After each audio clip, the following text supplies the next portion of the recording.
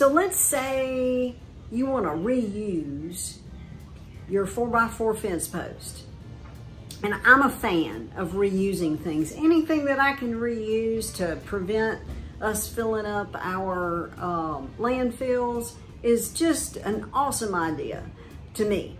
So um, if you've got old fence post that you've dug up, and, and I did, down at a place I bought, and I was trying to figure out how I was gonna reuse those, and I thought I was gonna have to just cut the place where the Quikrete, um, we dug that up, which was no small thing.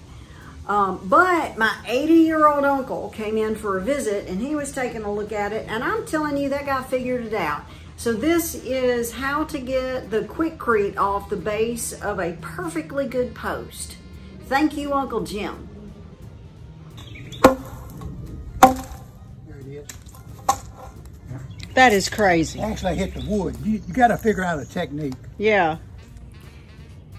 So before you jump out there on uh, knocking your quick Quikrete off your 4x4 post, you really need to put on some goggles. When I got involved in that project with my uncle, um, that's what I did. I put my goggles on and it took me, I don't know, about an hour to uh, salvage about 30 posts and we were able to reuse those. And the beautiful thing about getting the concrete off is that we, we chipped it down really good and then we painted those posts on all six sides before we put them in the ground.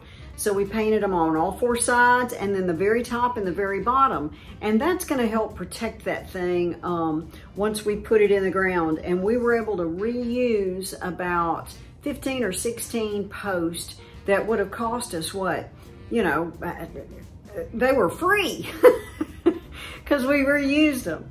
So if you ever want to reuse a post and you need to get the Quikrete off, uh, take a look at this video. Once again, don't forget to like us and to subscribe to the YouTube channel. Thanks for watching.